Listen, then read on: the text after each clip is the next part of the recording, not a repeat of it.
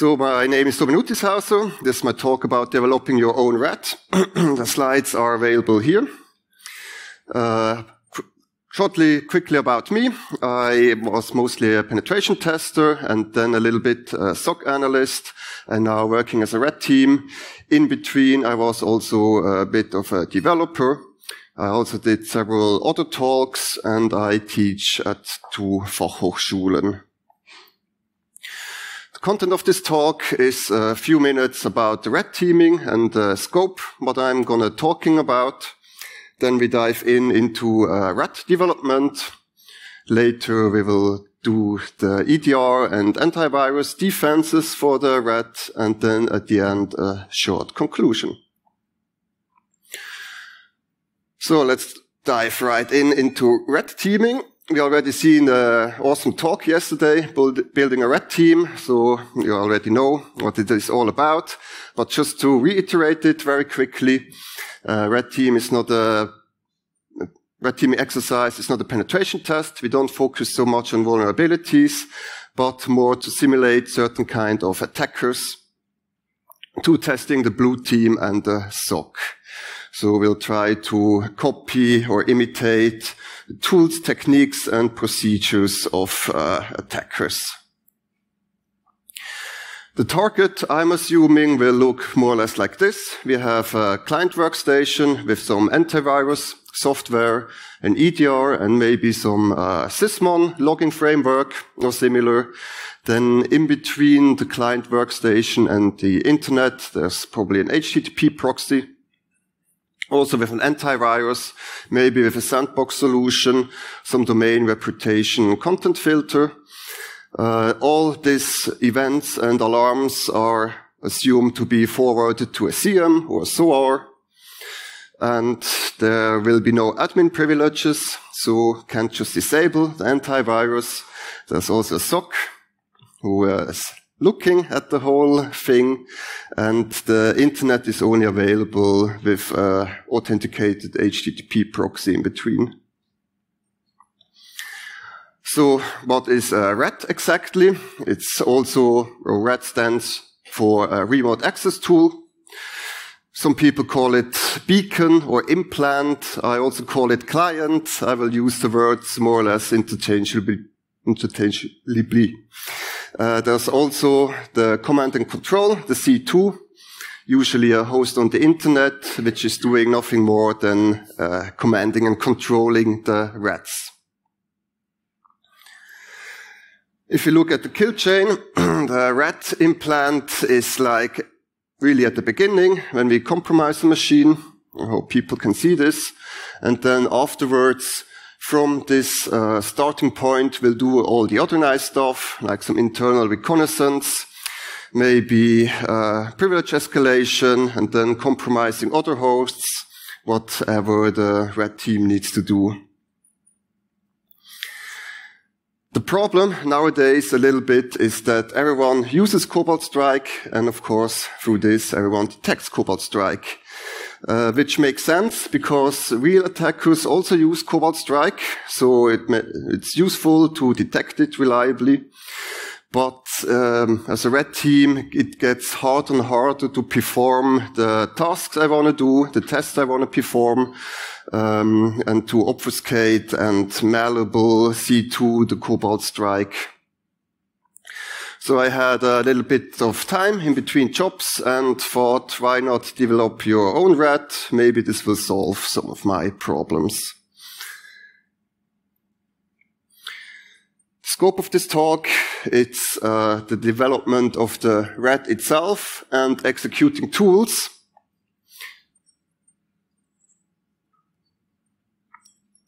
Okay, and that's back. Um, not in scope is all the other things red team needs to do. For example, reconnaissance, exploiting lateral movement, privilege escalation. Sadly, I don't have time for this. So the rat is usually installed on just a random Windows client. How exactly it's getting there is uh, not so important. Maybe uh, we made a phishing campaign. Maybe we exploited a vulnerability Um, or maybe we had some kind of white card and just uh, executed the rat by itself. Okay, good. Then let's uh, go to rat development.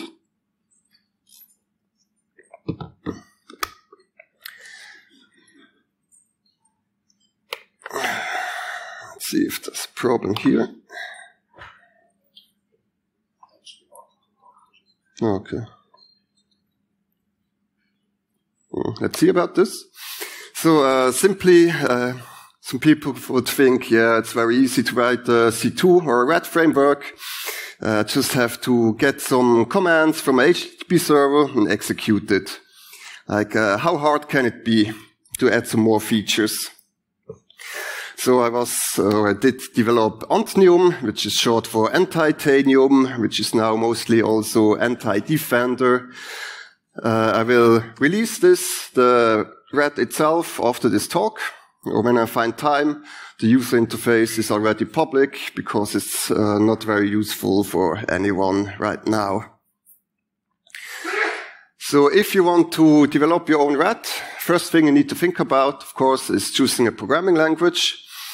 Previously, uh, people used more like managed languages like PowerShell or C Sharp. Uh, the trend currently is to go a little bit towards going more native. So we go to compiled languages. Uh, I chose Go because I had a little bit of knowledge about it and also want to learn a bit more about Go. It has some advantages, like it's compiled, so there will be one executable produced at the end. It has garbage collection, which is nice to code. Uh, also, one feature which I like a lot is cross-compiling, works out of the box. So if I have a Linux server with my rat on it and the C2, I can just compile a Windows client on it and make it available. So don't need a separate Windows machine. There's also a reasonably big red teaming ecosystem because Google pushes Go and there's a lot of people doing some development in it and can also easily compile it as DLL. Second thing you need to think about is how the rat should communicate with the C2 server. I just chose HTTPS, simple and reliable and always available, usually. Uh, you just need two endpoints, basically one REST endpoint where you receive your commands and one where you send the answer of the rat. Uh, after this talk, there's another talk about using cloud infrastructure for the C2, which you can do and probably very interesting. Let's look forward to this. But the C2 obfuscation is not part of this talk. So if you look at it, uh, at the architecture, it looks a bit like this. We have the rat written in Go. It will periodically ask the C2 for some new commands, or packets, as I call it. C2 is also written in Go, and there's a user interface for the operator, which I wrote in Angular, which was a big mistake. Um, and the C2 also has a database, which in my case is not really database because I don't like SQL queries and relationships and whatever. So I just dump all the in-memory model to the disk as a JSON every minute and that's usually good enough. Um, there's also, or if we look at the communication, it looks more or less like this. The operator adds some command which the rat needs to execute to the C2. C2 just adds it to the database and there's uh, a response from the rat or no response. So if the rat asks for new packets for himself. He knows, of course, his, his own uh, unique ID, client ID. The C2 will just go through his table, find a packet for this rat which has no response, send it to the rat. The rat will look at it, uh, execute whatever it needs to execute, and then send the answer back. The packets or the protocol looks a bit like this. It's very simple. We have a randomly generated client ID, randomly generated packet ID, what kind of packet it is, and the arguments and the responses. Uh, because Go and WebSockets and stuff are statically typed, I try to use um, not so strong model for the uh, packets, but just have a hash, basically a key value store as arguments and responses to make it easier. So let's make a little demo. I already downloaded the client here, uh, client.exe in the downloads folder, so we can execute it.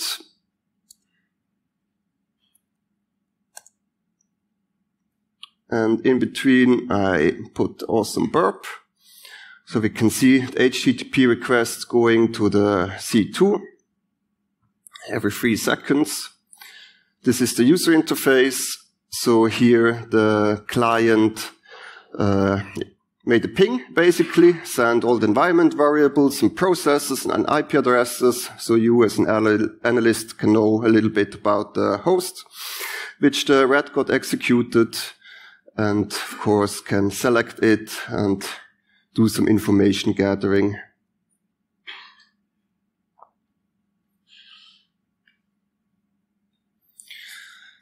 The whole infrastructure architecture looks a bit like this. We have the red again on this side, and the red will just communicate to some simple forwarder, uh, be it in Google Cloud or in Amazon Cloud. This is just uh, the smallest machine available with a caddy server forwarding all HTTP traffic to our trusted system. Uh, Caddy already is doing uh, Let's Encrypt certificates and is doing all the magic. So it's basically just one line of configuration. I have the source code in a Git repository. Also the configuration. So if I make a new campaign, I just make a new branch, do the, all, the configuration and commit it, and then can check out to a container, starting the server, configure the reverse proxy. Usually I use Proxmox as a host and then uh, this should work. And with the Git, you have an audit trail. Also, what did you do as a red team? Uh, if you do bug fixes in the main branch, you can still fix some things in your running campaigns. So this is pretty nice. Of course, the communication is encrypted. So you have a key on the RAT itself and on the C2 server. So all the servers in between from Google, for example, will not see our data. So it's also possible to like exfiltrate sensitive information because also the C2 server is more or less in a trusted location. This is like the campaign configuration. Uh, just set the uh, API key, encry encryption key, and some REST interfaces. So if the SOC is detecting something of this, um, you can just change it, like in Cobalt Strike, the malleable C2. Uh, but it's usually not a big thing. I don't like to wait. So, as you all know, whoever used uh, Cobalt Strike before, the first thing you do uh, when you have a beacon is to type sleep one. So it carries every second, not every 60 seconds for your new commands. Uh, this is then beaconing behavior, which you can more or less reliably detect on the HTTP proxy. So I like more WebSockets, which is just a persistent connection from the red to the C2 um, then it will be more instant, more stealthy.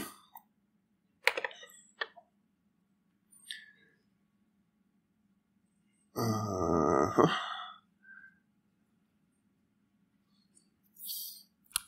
Let's show this.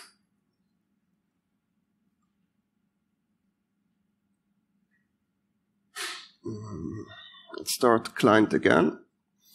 And this time there's only one HTTP request going to slash WebSocket. That's it. And then when we look at the WebSocket history, there we can see the encrypted communication going on.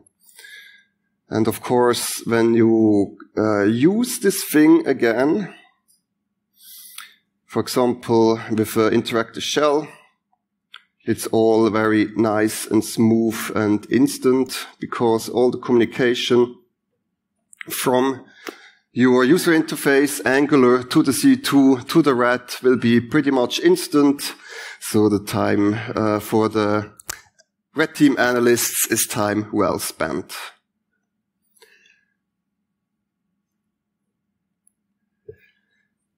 But that generated a little bit of problems. Before you had like the rat just querying for new commands and executing it. Now with WebSockets, the whole architecture got way more complicated, more or less like it's upside down. So the C2 is sending packets directly to the RAD, which is more like an API call or an APC call to request some information. There are clients who are online or offline. You need to handle this adding to the database. Maybe they are online, don't send a response, get offline, then they reconnect with HTTP instead of WebSockets, so you have reconnects and downgrades. And because uh, they are waiting for commands, the rat it is. So you need a thread because you are like have blocking behavior. So you need Go routines, which are just lightweight threads and channels to communicate between all these different components. And I didn't do any big design about this, so it got complicated and I needed to do some refactoring from time to time. Uh, surprisingly, there's also some development problems just with executing stuff. So in Linux, it's pretty easy. You have an array of strings, which are like your uh, executable and arguments. And Windows, it's depending on your target even. So if you have like the cmd.exe, you need to have the arguments as a string and some other options and then other targets needed as an array. And also you have long lasting processes which you need to manage.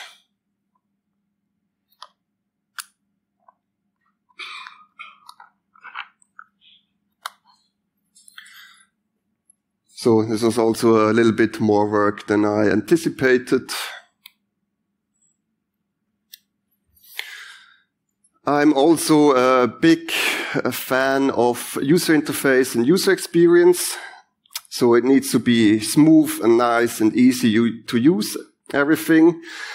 Uh, this also generated some problems, as probably other tool developers here in the audience knows. Um, every feature then, or here, every feature in the RAD needs a user interface option or it's useless.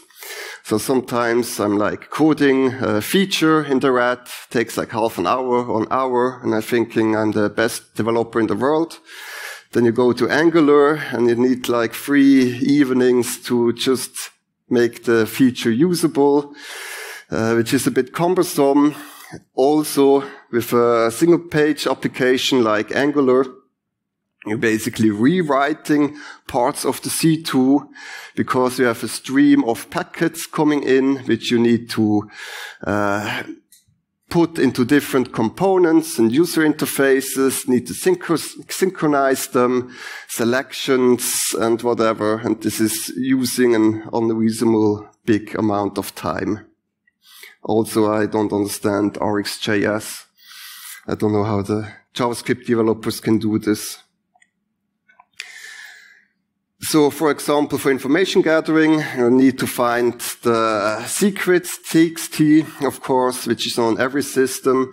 You can just use a shell and like try to find it, but it's very nice to, to just click and go through the whole uh, file system with clicking, basically. Also uploading and downloading should be easy. So uh, secrets txt and can upload it if it would exist. Hmm, interesting. Or uh, download files from the C2 to the client. Uh, I can just select it and this will work pretty quickly and you can do whatever you want to do.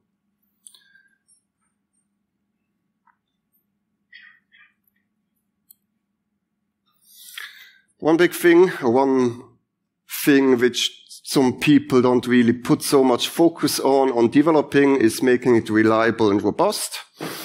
I wrote a lot of unit tests, a lot of tests generally, a lot of unit tests, integration, integration tests, test the server, test the client, test the connections, test the reconnections, test the proxy communication and whatever, because there will be a lot of things going wrong.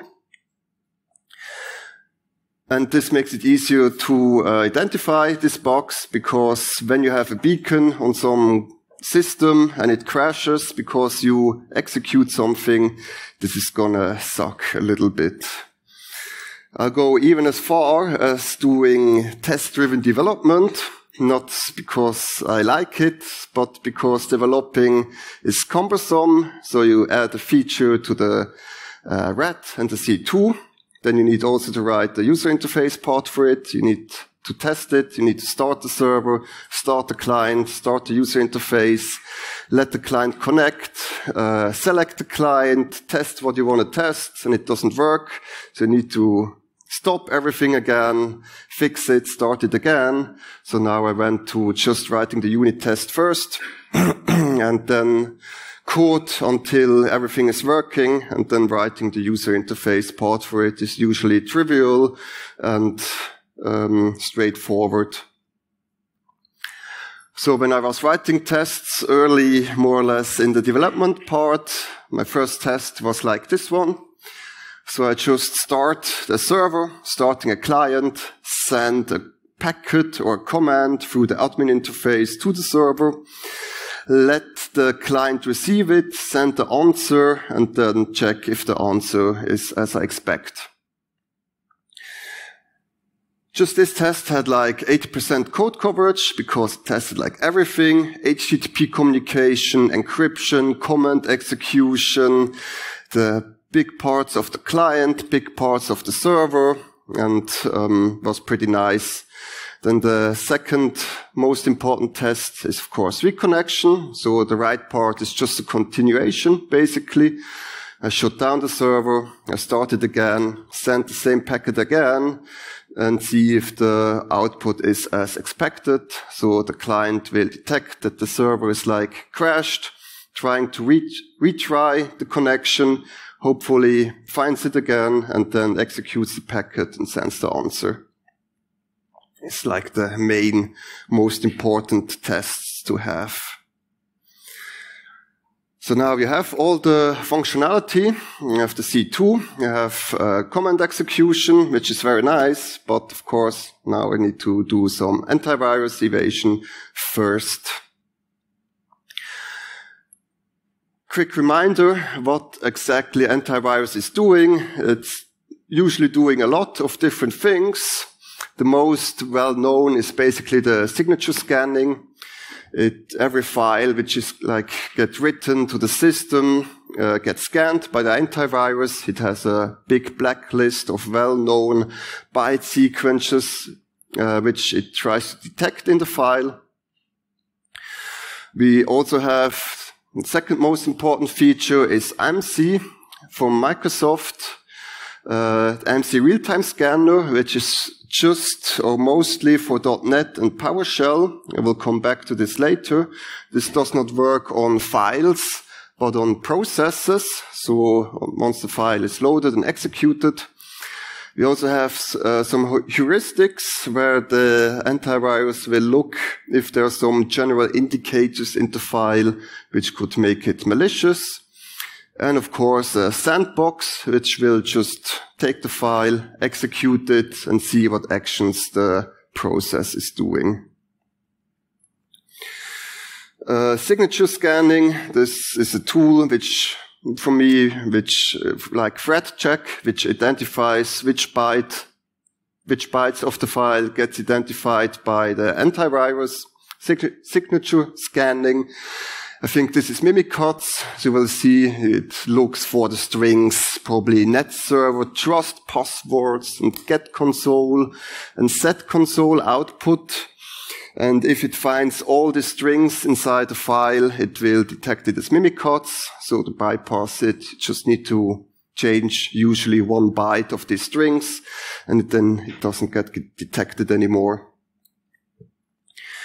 Uh, this is PE Studio. Um, generally shows some heuristics like uh, well-known strings, potentially malicious API calls in the import table and other things. So if it's uh, over a certain threshold, it will uh, think it is malicious. Here a little example of AMSI. So AMSI is not just the interface in Windows to the installed antivirus, but in this case, in this talk, AMSI for me is the scanning of code when it's getting loaded as a process. So in the first line, I have my obfuscated PowerView uh, PowerShell script, basically just changed one byte. Uh, here I give the antivirus defender chance to identify it, which it doesn't. It doesn't remove it. But when I load it um, further down and try to execute it with the dot, sourcing it into memory or into PowerShell, Windows Defender will come and say, hey, that's uh, PowerView, that's uh, malicious, and it's getting blocked. So, what you need to do when you're developing your own RAT, of course, there's no signatures available for it, so the signature scanning is not really an issue. Uh, currently, until someone uploads it to VirusTotal or something, until now is fully, fully undetectable. The heuristics, I also never really had a problem with it because there's not that much functionality in the RAT itself. Um, if there's a problem, you can just use uh, dynamic imports or deinvoke, make some string obfuscation or whatever. Sandbox is also not a problem because when you execute the RAT, it doesn't do anything. It makes an HTTP response to a C2 server and that's it. Not really malicious, but if there will be a problem with Sandbox, you can just calculate some prime numbers for uh, three or five seconds, and then that's uh, already well. AMSI is also not a problem here because uh, it's um, native code, so MC is not really applicable. So it's all good nice and easy. Uh, our red works, but it doesn't do a lot. You need to execute your tools as a red teamer and not just having a C2 connection. Here's a bit where the problem starts. There are broadly spoken three types of code which you can execute. Uh, native code again, or in Microsoft speak, unmanaged code like Mimikatz or Dumpert. You have managed code, which is usually uh, .NET code or C Sharp. Um, the trend before was to write most of the red teaming tools in PowerShell, and now it's more, most tools seems to be written in C Sharp, in managed code, which I will focus now on the next few slides. For executing managed code, you need to either obfuscate each tool individually, or you can do some other things. But of course, first you need to uh, execute this uh, .NET stuff and you don't just want to download the executable because the antivirus will detect it reliably and remove it. So we do it in a different way. Um, on the left side, it's the code to load .NET in an unmanaged process. The details are not relevant. You just load the .NET runtime and it's sitting in your process and will execute your code, which you will load afterwards, downloaded from the C2 server. But there's a little problem with the MC DLL.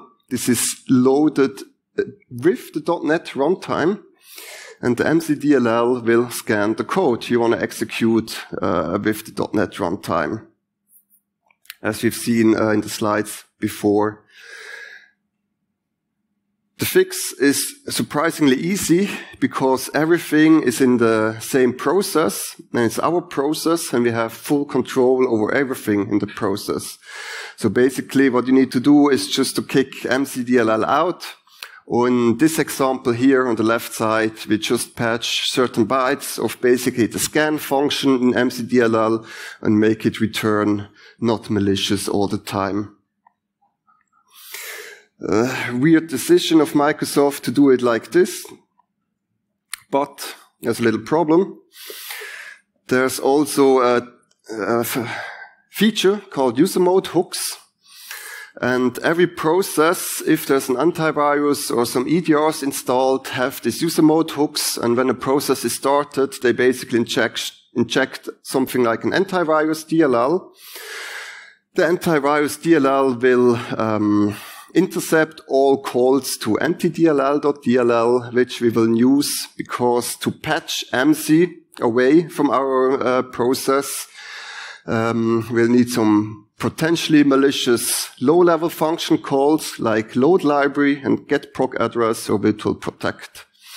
And if the antivirus will detect too many of these potentially malicious library calls, it will just kill the process. I will show this in a bit more details. So these uh, API calls are here on top. This goes to like kernel 32 DLL, then kernel 32 DLL will call antidll.dll. This is the lowest layer of the DLL hierarchy in Windows, and then antidll will issue the system call itself. So if you have user mode hooking, um, there's a functionality from Windows to hook antidll, basically forward all API calls to your own antivirus DLL.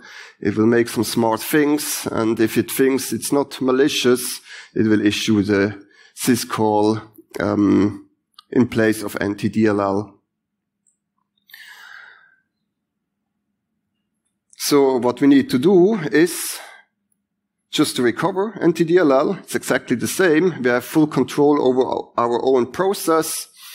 Uh, there are other techniques, but you can just load the anti-DLL, the clean one from disk, and then basically you have unpatched it. Antivirus is very lonely here and doesn't get anything, and you can do all the fancy stuff you want to do.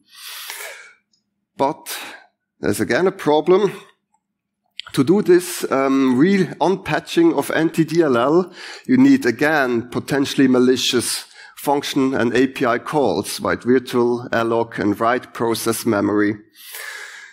But the solution is already on the slide. For Linux exploit developers, it's like very straightforward.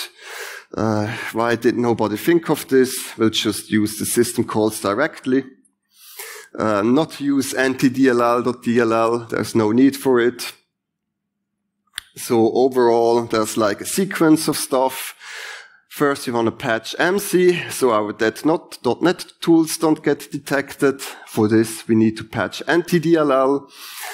Uh, to patch antidll, we'll use direct system calls.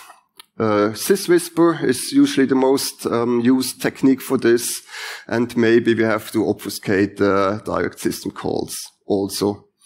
Uh, for my red, I used uh, Donut to uh, Donut project to like transform the .NET executable into shellcode, which is also doing all the heavy lifting, and the technique or tool reflection to patch anti-DLL. The advantage of patching anti-DLL is that you can use more libraries and you don't have to do everything manually with system calls, which can get a bit cumbersome. Uh, yeah, let's do this. So can execute a remote file here seatbelt with the command line .NET and we already injected it into a process notepad.exe and see, surprisingly, this worked very well, even though that's a lot of code behind it. And if we look at Splunk, which is recording all the uh, process executions, except it didn't really. So before I was uh, executing cmd.exe, like with the command hostname and whatever, and you see the parent and child relationship. Um, client exe, our red executed cmd.exe. Uh, maybe let's give it some time because this is going to the next topic seamlessly. EDR, EDR evasion. So usually nowadays companies who have a red team also have a SOC or also called blue team or cyber defense center or detection response. It's usually just some guys uh, looking at a lot of screens and it's uh, all the events and alarms of all the hosts in the network getting accumulated into the CM, and the guys try to catch me as a penetration tester or effective attackers in all this noise. This works either by deploying an agent to each and every host on the network, uh, which is logging like stuff like process execution, logins, logout, firewall changes, added uh, tasks and uh, scheduled tasks and whatever. And then you have rules working on it centrally or decentralized. And the rules are saying something like if someone executes psexec, or net.exe. This should generate an alarm. That's probably an attacker doing information gathering. And some companies try to do it with AI uh, based detection, which is usually not such a smart idea. Then the analysts uh, see the alarm um, and react and do their things, quarantine the host or whatever. So what we need to do is to stealthily execute uh, executable, like the seatbelt before, also native code. Uh, I have chosen the uh, process hollowing technique, which is just a fancy process injection. So we start a non-malicious process, stop it, remove everything from the inside, put our own executable inside, and then resume the process. This again uses this uh, Windows low-level APIs like create process A, read process memory, and this is exactly the same problem as mentioned before with the NTDLL user mode hooks. So the solution is also the same one. Um, and let's see if the demo works. Okay. Let's reload it or just use the process search.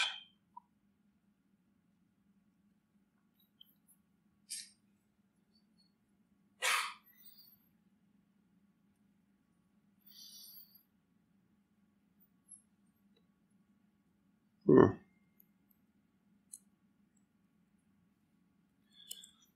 Okay, uh, too bad, but it will would look like this. You can have some direct execution of an executable, uh, either direct, so we don't have any bypasses,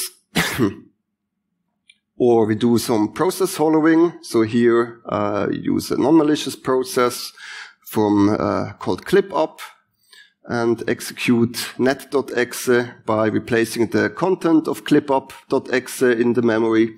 Works exactly the same. Or if this is too fancy, if there's like too advanced of EDR detecting our syswhisper techniques for the process hollowing hiding, uh, what's easy is just to copy the executable here to temp not a virus. And of course, then the rules which the SOC has written to detect execution of net.exe uh, doesn't work because it's called not a virus. Uh-huh, yes. Now it's a bit more data. So we see here the client.exe uh, here with the notepad. That was the executable execution of seatbelt managed code and client.exe just spawned notepad. That's not very malicious. Here I executed net.exe um, directly which looks bad and malicious. Someone executed net user information gathering, generating an alarm. Second last is with clip up, the process hollowing. Let's wait until it's back. Um, also here, the parent uh, is the rat itself, the client.exe, and the new process is clipup.exe, which is not very malicious. And then on top is just uh, copied to the temporary directory with a nice name, not a virus. Of course, the command line arguments are still the same, user in this case, but there's not really detections on command line arguments.